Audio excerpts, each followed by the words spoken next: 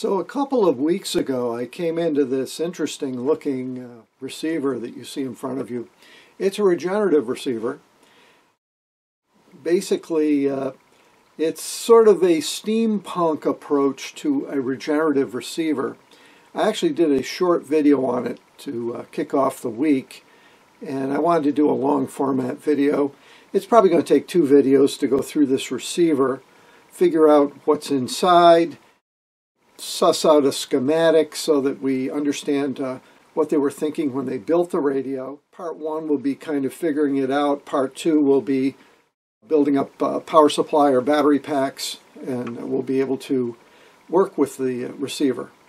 Now, the first thing, this receiver is built out of sheet copper. So it's completely shielded and the only thing outside are, you know, the interfaces and the uh, plug-in coil is outside. Isn't that clever? This is an amateur receiver. This is not a shortwave receiver. It's not a broadcast receiver. It's not a thrill box. It is a dedicated it's a dedicated ham receiver. And the plug-in coils are all marked 80, 40, 20, and so on.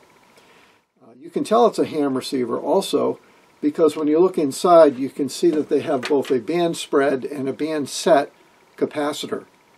And that's one of the telltale signs that this thing was made for just tuning the amateur bands, very, very narrow portions of the amateur bands so that you could get fine tuning. So I think you're going to find this a very interesting video because this regen uses battery type tubes. Uh, the first uh, generally available battery tubes to amateurs, of course, show up in the 20s, but uh, by the mid 20s to late 20s, we start to get to more of the commercial large volume type tubes like the 230. The 230 is a, a battery tube that uh, has a 2 volt filament and only requires 60 milliamps. So that makes a fully portable radio like this possible. This guy, the batteries live inside the box. Half of the uh, box is the receiver, and half of the box is for the batteries. So if you want to talk about parks on the air or total portable operation, that's what you're looking at here. Except I would place this around 1930 to 1935 as far as the, uh, the date of manufacture by the amateur. So we're looking at an early 30s ham band regen receiver. Here are a few other features of this receiver that clearly put it in the ham radio category and out of the general experimenter Hugo Gernsback shortwave listener category. Notice that it's using uh, high quality variable capacitors and that the main tuning capacitor is on the small variable. This looks like it's possibly a 30 picofarad variable having that small range is another sign that this is just tuning a small band with good band spread for ham radio use. This capacitor over here, however, is the larger band set capacitor. This is the capacitor that gets you to the edges of the band. So you might set it here for CW and you'd have full CW band tuning, and you might set it here for the phone portion with full band spread. That's typical uh, clever construction for a ham radio receiver and not as much for a shortwave receiver.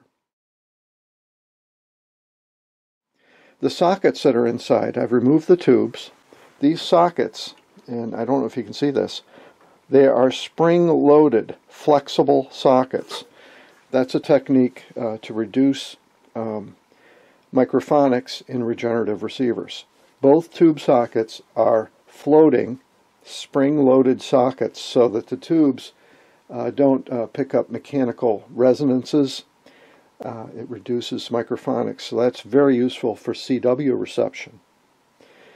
Uh, some other features uh, beyond the, the shielding itself, notice that the plug-in coil is external to the box. This is another clever trick not seen today.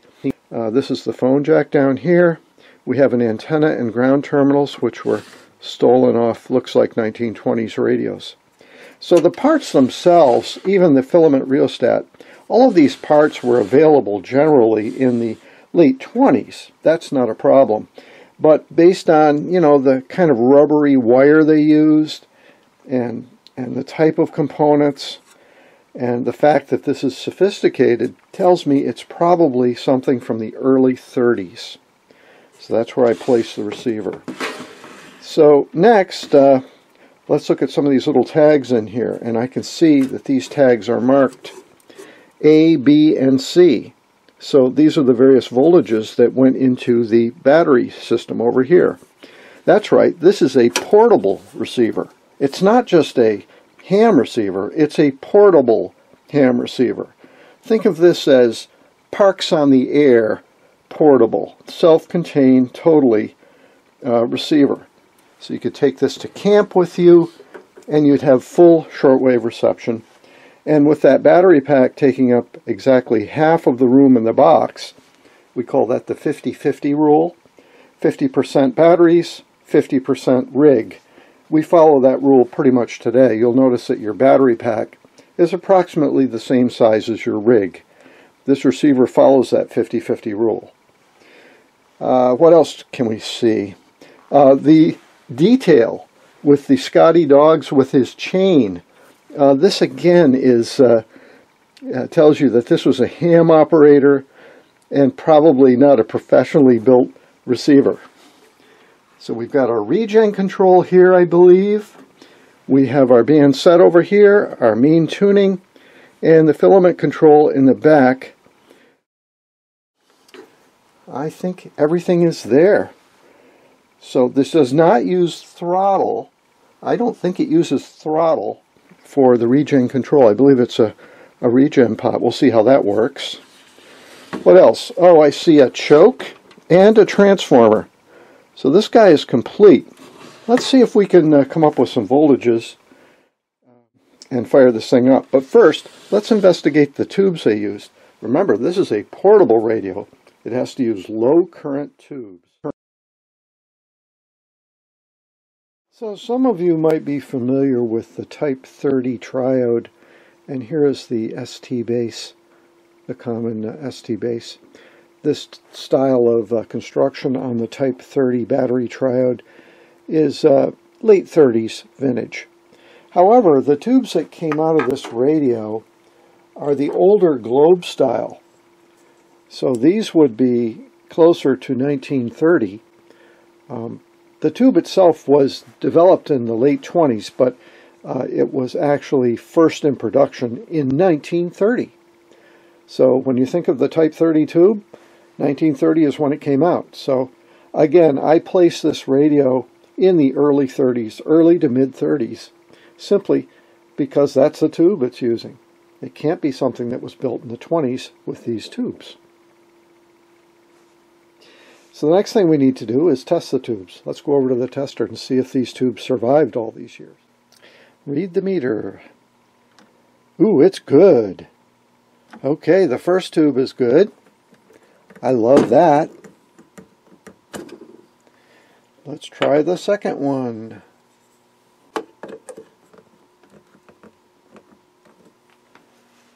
Okay, we'll let that warm up for a minute. It's amazing how vacuum tubes last. As long as you don't smash them or vibrate them too much, drop them, they will maintain their vacuum and they'll be good. They'll last a lot longer than almost any other component in your radio, believe it or not. People say that's the weakest component in your radio. Well, it's not. It's really the strongest component because it's in a vacuum.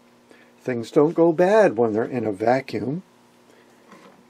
Okay, this thing's not very stable, but let's read it. Oh my god, it's really good. Okay, there is no doubt that both of those tubes are good.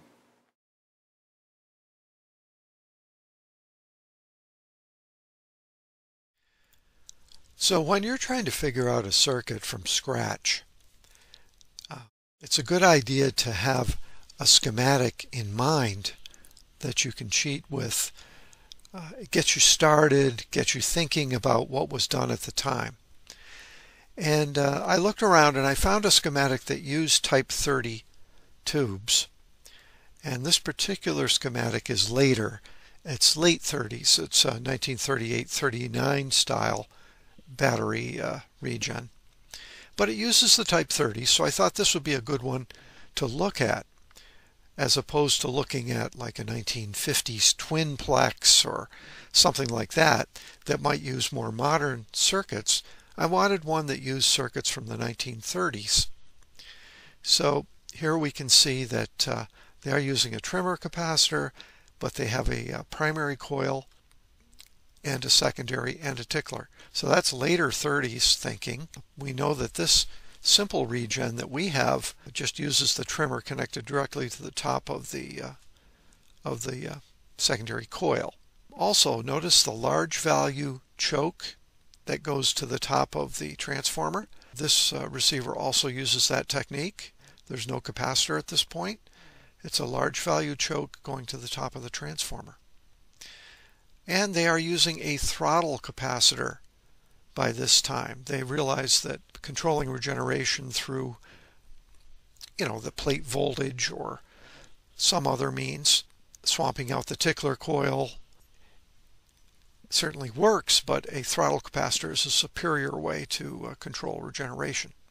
Whereas this older receiver, we know there is no throttle capacitor.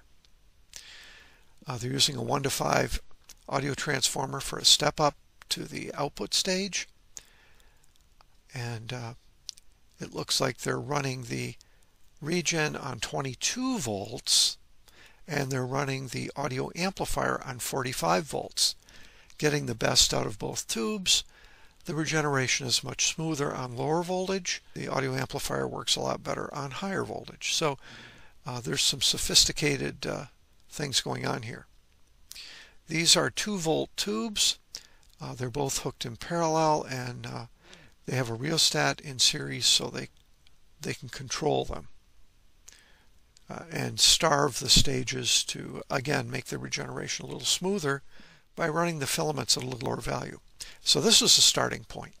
And I got, I got used to this schematic. So let's see what I actually found. Okay, here we are and I'm calling it the Scotty regenerative for the first time in this video because of the little Scotty dogs we have on the front. So the Scotty regenerative uh, simply uses a trimmer right to the top of the secondary coil. It has both the band set and the band spread capacitors. And notice they have the grid leak going to ground rather than across C3. Okay. They have a fixed capacitor for setting the feedback, and they're using a high value choke going to the transformer. So now I'm rethinking this. Perhaps this is more like 10 or 15 millihenries and not 50. I have to measure that. That was the guess I took based on the physical size. Again, this is a working schematic, not the final schematic. I also guess that this is a 1 to 3 transformer, but we'll have to measure that and see what it actually is. If it's 1 to 5, even better. Uh, the regen control is handling the voltage to the stage, so we're varying the plate voltage with the regenerative control. This is a uh, less desirable form of regenerative control, but that's what they're using. Here's something that's better than what they did with that other uh, radio. They actually have a C battery involved where they're biasing the output stage properly uh, with a C battery. So this is, I think, a better circuit than what they had in that late 30s uh, receiver. The phones are connected directly into the B+, plus, and again, the B plus is probably 45 volts on this receiver. But they add this uh, radio frequency choke in the plus lead to the audio amplifier. I've never seen that before. That's something new for us. Also, they're uh, controlling the radio on-off by simply cutting the filament. And they put the positive filament voltage to ground. And to turn it on, you ground this. And they've got the two filaments in series. Never seen that before. Learning a lot of new things with this receiver. That means that the A battery could be anything between 4.5 and probably 6 volts. Um, this is very clever. Instead of 2 volts, we can use a more conventional uh, 4.5 or 5 volt supply Of course, the filaments are in series, so if you remove one tube, it turns the set off completely. So this might not look like it's the normal regen that you're used to seeing. So maybe there are some things done here that look a little different than, than we're used to looking at. Um, so it's not quite conventional, but I think that uh, everything that's done in this receiver makes sense, and I think it's going to work very well. So let's see what we've got. This is the preliminary schematic for the Scotty Regen.